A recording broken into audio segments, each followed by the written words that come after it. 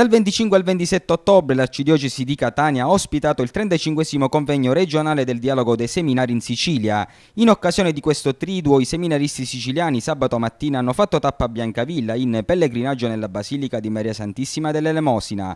Mattinata piena di impegni quella di sabato, i seminaristi si sono recati prima a Villa delle Favare per assistere alla conferenza spirituale sul tema Vivere la fede, tenuta dal professor Francesco Ventorino, docente di ontologia etica presso lo studio teologico San Paolo a Catania. È un incontro fra i seminaristi della Sicilia che innanzitutto penso che sia un, un grande momento di amicizia, per rinnovare l'amicizia fra di loro che poi sarà il fondamento di una corresponsabilità nel ministero sacerdotale che avranno quando saranno preti in tutta la nostra regione. Innanzitutto questo.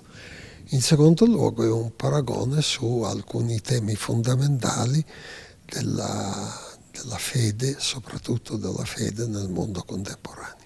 Successivamente gli aspiranti sacerdoti si sono recati nella Basilica di Maria Santissima dell'Elemosina. I seminaristi hanno visitato la Basilica Biancavillese, poi Monsignor Salvatore di Cristina, arcivescovo emerito di Monreale, delegato Cesi per il dialogo dei seminari in Sicilia, ha presieduto la celebrazione eucaristica, sottolineando nella sua omelia come colui che si dà a Dio per il servizio del regno e sembra obbediente ai disegni del Padre. La cosa importante di questa, eh, di questa iniziativa di convegni è che sono i seminaristi stessi che organizzano tutto.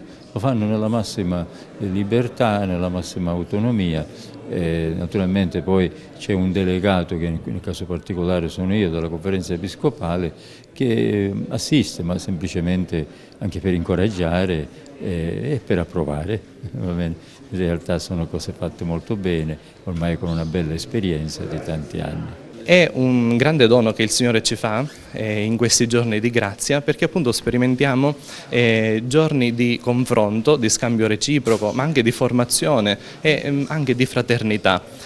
così appunto è nato il dialogo e spero che queste eh, chiavi di lettura continuino a caratterizzare sempre le attività del dialogo.